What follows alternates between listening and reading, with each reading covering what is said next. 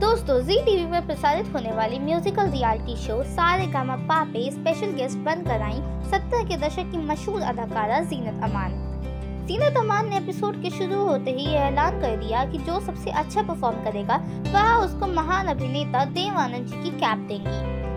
इस एपिसोड में सभी प्रतिभागियों ने एक से बढ़कर एक परफॉर्मेंस दी, जिसमें से खास रही पश्चिम बंगाल से आए प्रतिभागी स्निग्ध जी भौमिक और महाराष्ट्र से आई प्रतिभागी अंशिका छोड़कर की डुएट परफॉर्मेंस इन दोनों ने आशा भोसले और मोहम्मद रफी के फ़िल्म काला पानी के गाने अच्छा जी मैं हारी, चलो मान जाओ, और आशा भोसले और किशोर कुमार की फ़िल्म पेइंग गेस्ट के गाने, छोड़ दो आंचल, जमाना क्या कहेगा, पर एक धमाकेदार परफॉर्मेंस देकर ज्यूरी और जजेस को खड़े होकर ताली बजाने पर मजबूर कर दिया।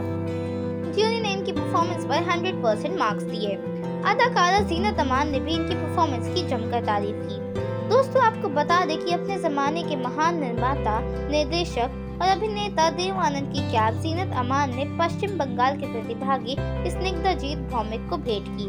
यह रियलिटी शो जैसे आगे बढ़ रहा है। प्रतिभागी एक से बढ़कर एक परफॉर्मेंस देकर दर्शकों एवं जजों को चौंका रहे हैं।